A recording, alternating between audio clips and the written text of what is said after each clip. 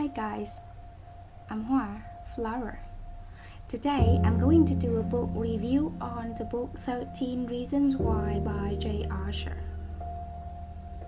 Actually, when I started reading it halfway through, I was so bored. I hate the main character, but when I ended up finish it, I really like it. So this is going to be really fascinating. This book is about a girl. Her name is Hannah, Hannah Baker. She is just another normal high school student. The only fact that's what we think of her. She is in state of confusion after people failed her in one or the other ways.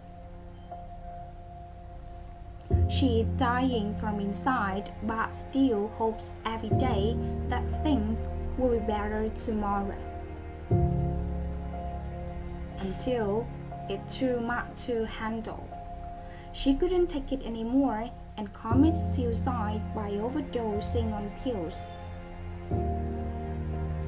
But before she dies, she records 13 tapes with each one dedicated to a person who made her life miserable. She mentions what led her to the decision to end I hate Hannah because she made such a drastic decision like she thinks that she cannot change anything.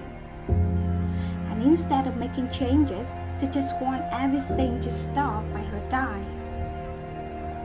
But 13 reasons why is too evident of the incidents that happen around us every day. We never try to find out the problem of a person until they run too far. This book describes the state of our society. We forget one thing that defines us humanity. Communication has reduced to significant, and we don't even care to ask. We are only concerned for ourselves. We don't evaluate our action as to how it will affect others. Bullying is one major cause that mentioned in the book. It's very common in high school. Competition, jealousy, and superiority complex makes people blind toward human feelings and emotions. The author describes each reason with obvious details as to how you might bully to someone around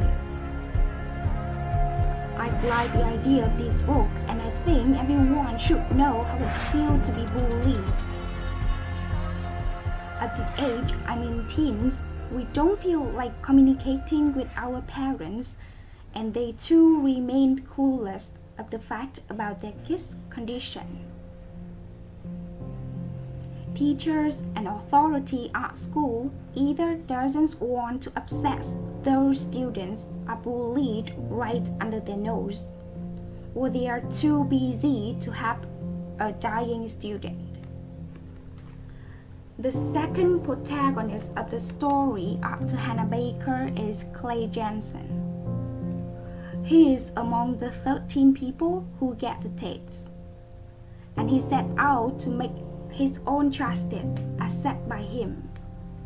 You may find him helping the tooth come out. He get framed, and the bully try to bribe him or even beats him. But he never stops for the sake of his departed friend. Clay Jensen was amongst Hannah's friends. And you know, life get easier when you have a friend Sometimes people recover from anxiety and stress situation only if you reach them out at the right moment. But which wasn't the case here.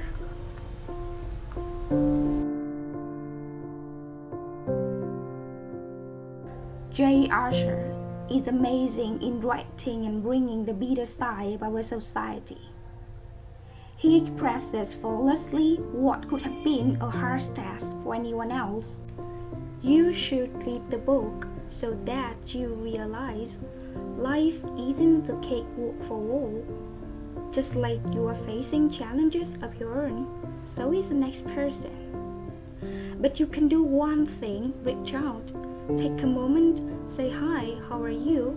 The next person might be feeling lack of connection, but your approach may help her be one. You never know what your smallest and simplest gratitude might do to a human. So, be kind and spread love.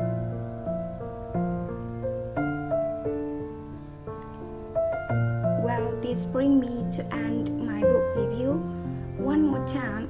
to emphasize that I highly recommend reading this book. If you hate it halfway through, just like either, don't stop there. Finish reading it because I promise it will pay off the end. Thank you for your watching. Thank you.